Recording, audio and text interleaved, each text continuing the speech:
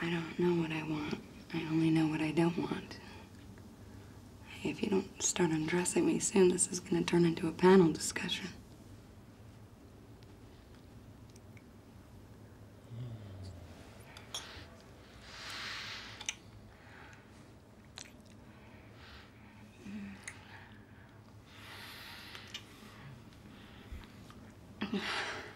What? Are, are you okay?